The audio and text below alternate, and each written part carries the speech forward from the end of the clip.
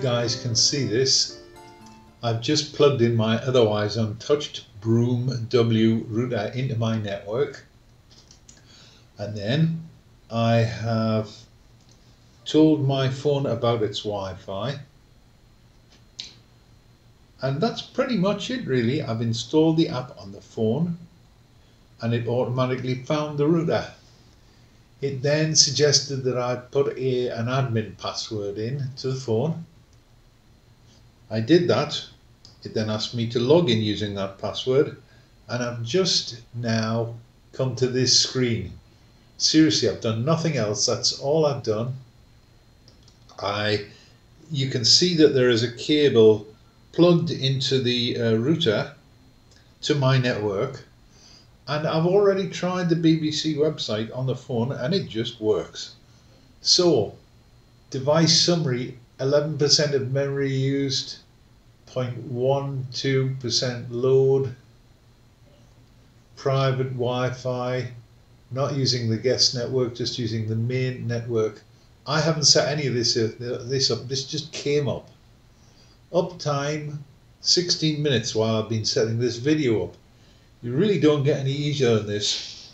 Now, I mean, um, what else can I do here? I have, I can look at how many clients are on the network. Well, obviously there's only one client on the network, that's me. Plugins are on any yet because I've done nothing. Settings, I've, I've done absolutely nothing. So really, tethering, this is all very straightforward. What else can I show you here? Well, let's go to settings. Updates are available. Now, because it's connected me to the web, you're going to see this live. I absolutely had no idea if this update's going to work. Current version 3.1.02 uh, came with the router and the current update is 3.1.04. right, I'm going to uh, take a chance here available update. Install. So I'm either going to have a working updated router at the end of this or a completely bust one. I have no idea. Of course had I had my brain plugged in I would have realized that I had the phone hooked up to the Brume then to start the upgrade process which would of course reboot the Brume. However the whole setup was smart enough to realize that, which I wasn't, hook the phone back to my normal Wi-Fi. I then just had to press a button and re-log in onto the Brume's Wi-Fi and it said upgrade successful. So now I have, um, if we go to settings,